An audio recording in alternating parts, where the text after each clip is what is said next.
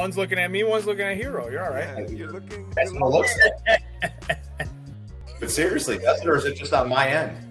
I don't, I don't see anything. Yeah, my, on my end, it looks like I got one eye pointing straight and the other one pointing at my nose. Well, Russo, if you're telling me to look deeply into your eyes, I'd rather do that in person, okay? Welcome, welcome to another episode of Identity Booth. It's been a minute, y'all. We have it. We're back here. We're excited. Big things are happening. Uh, if you guys have been on the channel for a while, you guys already know what the situation is. It's starting to warm up. That means these lovely teachers on the screen right now are out here running around, and they're running around with a good cause. I definitely want to introduce some celebrities in the house, right? We got some celebrities in the house.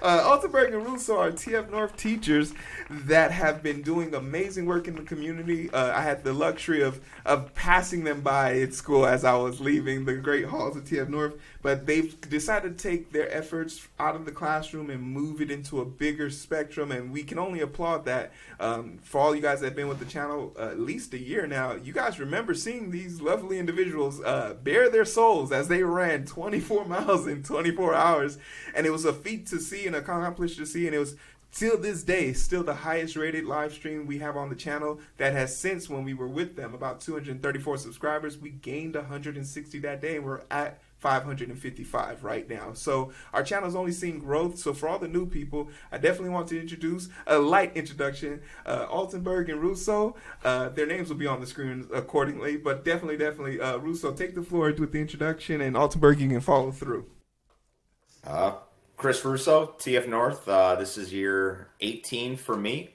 okay Uh, English teacher. I have taken over student council for a few years with Mr. Altenburg, coached baseball for a few years with Mr. Altenburg, and uh, glad to be back on the identity booth. super important Yes. I'm Aaron Altenburg. I'm a social studies teacher. Uh, taught U.S. history, government, AP U.S. history, just about everything uh, in that department. Um, this is year 17 for me. So as as uh, Russo said, baseball, uh, student council, and now our, our, our scholarship. We've we've done pretty much everything together. If you see one of us in the hallway, you're going to see both of us in the hallway. Yeah, definitely, definitely. It's something to commend. Is uh, I don't think I've done 18 years of anything. I don't even think I've been a good person for 18 years. So you guys, I congratulate you guys on that. That's one heck of a feat. 18 years of dedication and service to the community I grew up in. Uh, I'm a product of my own environment, and uh, some people look at me and say I've done really good for myself. I kind of look at them and say, man, losing weight is tough. like, if you got a shortcut for that, let me know. But uh, it's greatly appreciated uh, to have you guys back in the mix. And just so we can give everyone the spark notes, the last time you guys were here, you weren't sitting comfortably in chairs in your lovely homes and being, you know, fine. You guys were on a track, literally running after being up for 24 hours. Now, I was there with y'all, but I wasn't there with y'all. Um, take us back to that moment where you guys crossed the finish line, you accomplished your goal, and where are we now? I think that that last uh, leg, that when you were were with us, was kind of it was a really special moment. I think for both of us, it was uh, the highlight of entire the culmination of all that hard work and everything. And as we we entered the school property, uh, we had a bunch of community members, school board members, uh, our, our administration, family members, students, some of our baseball players all joined us on that track. I think it was just a very special moment of everything coming together and, and showing that support for for our, our cause, for our school, for our students, for our community. And I just think that that um, that 24 miles culminating on that track with all everyone around us was a pretty special moment. Um, I think, especially for me. Well, Russo, tell me a little bit about the situation um, that came up afterwards. What were you guys doing this for? Uh, so basically, what we were trying to do is we were uh, raising money for uh, students who have gone through some difficult times during their high school career, and those difficult times could have been, uh, you know, maybe great behavior. Um, it could have been loss of a uh, a family member, loss of a friend, any kind of of difficulties and hardships that our students have gone through. uh, but in the end, uh, have overcome those those hardships, and uh, we're graduating and would be college, uh, military, or trade school bound. So those were the students that we were we were looking help. Excellent, excellent. And Altenburg, did y'all accomplish y'all goals? Like, yeah, know, did the running part y'all finished, but were you able? What was your mindset goal here? Like, you wanted to help how many students? How much did you want to raise? I believe in the planning phase, you guys said something about just raising five thousand dollars. Uh, yeah, we we were our original goal was five grand, and uh, soon after we we spread the word. Uh, to the types of students that we wanted to help, and and uh, the community just got jumped on board whenever we we explain our cause and explain what our goal was. Um, almost before we could finish our, our, our little spiel to them, they, they were on board. They were saying yes. And our 5,000 goal quickly went to 10,000. And when we got to 10,000, we up to 15,000. And I believe uh, on the on the track when you were with us, um, we got that, that that announcement that MTV was going to donate a, a, a nice chunk of change, and that put us over our goal for 20,000. So I believe that we raised over twenty three thousand dollars um, last year with, with, with all of our, our sponsors and all of our, our people that were in the community, the the police, uh, the fire department in Calumet City and Lansing, um, and just community members, businesses, uh, even outside the, the Calumet City uh, community, Northwest Indiana. There was a lot of people jumping on board, so we were able to uh, definitely far exceed the goal that we originally thought we were going to be able to accomplish. Definitely, Mr. Mr. Damati Pongo, uh, Mr. MTV himself, uh, called in after seeing the live stream being up for 11 hours and asked me what the hell am I doing. so I had to inform him that, you know, I'm doing this for whole high school and he thought it would be super important to call some people higher up in the in this communication chain. So he's definitely appreciated and and by no by no measure everyone who decided to do something from the from the local help to the statewide help that you guys received and even on the international level. So it's definitely appreciated. It was definitely um, something I was proud to say I was a part of. Uh, a lot of a lot of people's lives were impacted. Not just the people who received the scholarship or help, but the people who took on a healthier aspect of life, as I have ever since now dedicated myself at first starting off just running a 0.5 just get 0.5 hero. Now being able to catch into the two mile run and it's it's hard for me to say that that wasn't something inspired by watching you guys run and commit yourself to something that's a little uncomfortable for a greater cause right? So it's definitely something to commend but obviously i didn't bring you guys back here to brag about your accomplishments uh, you guys actually have bigger goals and uh, bigger ideas of how y'all want to do this. So Russo, give me the just the the thousand mile view of what you're trying to do now. So we uh we still we, we love we love the, the 24 hours and quite honestly we loved being on uh, live with you for for 24 hours. So we figured what better way to get more time with you than to uh, up the ante a little bit. So we've decided that we are going to take on what we're calling the 50 in 50. So we are going to run 50 miles in 50 hours, uh, and you know, make it a bigger challenge for for all of us. So that is the goal this year. On 50. 50 and 50. Altenburg, tell me a little bit about how this is even a thing because 50 miles in 50 hours. What's the breakdown there? Like, what what's the urgency to go 50? Wouldn't 24 be enough? Well, the format's going to stay the same. We're still going to do the four hours every or four miles every four hours. Um, but we wanted to up David Goggins, and if David Goggins is out there listening, I know he raises a lot of money, and we'd like to challenge him to maybe to to donate to our scholarship to help some of our kids. But he only does 48 miles in 48 hours. So we're we're uh, we figured that was that was so, so, close to a 50 mile that that kind of milestone that maybe uh, you know I, I, before this whole thing started I probably never ran 50 miles in my entire life. So to do it in in kind of a 48 50 hour span, um, we just we just like that that even number of 50. So we, we figured we'd we'd one up Goggins and uh, see see what we can get. Hopefully that that will uh, spark some more interest and spark some more people to to donate to a, a really good cause. Uh, uh definitely, because I'm sitting here and I'm already tired. Y'all haven't even started. like it, it takes a lot of dedication and fortitude to even commit to a schedule like this. But once again, we're doing this for people who might not even know it yet. So before we move on to the future, tell us about some of the past kids that we've helped out in this situation. How are they doing? Is there any update you can give us on them, Russo? Um, definitely have an update on, on one of those students. Um, she is currently at uh, Illinois State University, and she is doing doing pretty well in her her freshman year there. Excellent, excellent. Altenburg, you got anything else? Yeah, I was just going to say all, all, four of our uh, recipients from last year, uh, they were all college bound, so they all used that money whatever they want, whatever they needed, whether that was dorm room uh, things for books, for whatever that money uh, was going to go for their for their future plans. Uh, but we had a couple of them that were going to junior college. We had a couple that were going to a four year school. So um, that money was was well deserved and and went to some kids that were really going to be able to use it for the future to to further their future plans. Excellent, excellent, and it's that's heartwarming. That's a feel good situation for me. Um, now we're now we're here. We're we're you guys are already training. You guys are already in the next level of getting ready. Um, you guys aren't alone this time. You've decided to incorporate other people into this. So who else wants to join you in this endeavor? Who else wants to suffer? so we uh, we reached out to um, a few other schools.